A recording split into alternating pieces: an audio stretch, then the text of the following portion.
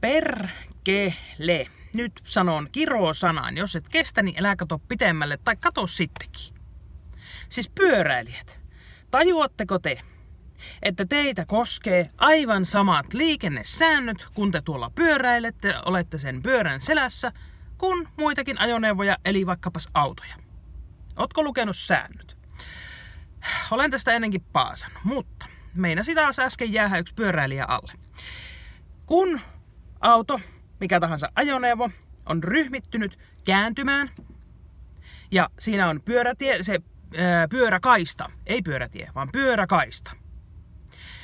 Ja kun se ajoneuvo on ryhmittynyt kääntymään vaikkapa tässä tapauksessa nyt oikealle, ja on siinä pyöräkaistalla, sen kohdalla, että se kääntyy siitä. Yleensä kun siinä on semmoinen katkoviiva, niin silloin kuuluu autoilijan ryhmittyä siihen pyöräkaistalle.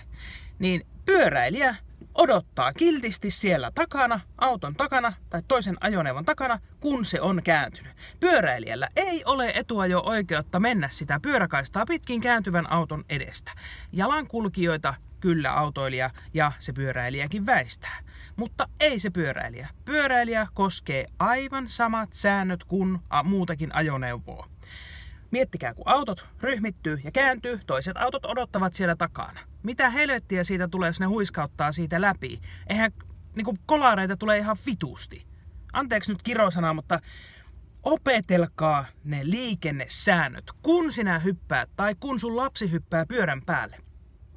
Sitä koskee ne aivan samat liikennesäännöt kuin autoilijoitakin. Sä et tule sieltä päälle silloin, kun autoilija esimerkiksi ryhmittyy sinne pyöräilijäkaistalle. Ja auton kuuluu ryhmittyä, tätä ei edes kaikki autoilijat valitettavasti tiedä. Auton kuuluu ryhmittyä bussikaistalle, pyöräilykaistalle kääntyessään, jos siinä on katkoviiva. Opetelkaa liikennesäännöt, kun olette liikenteessä. Turvallista matkaa.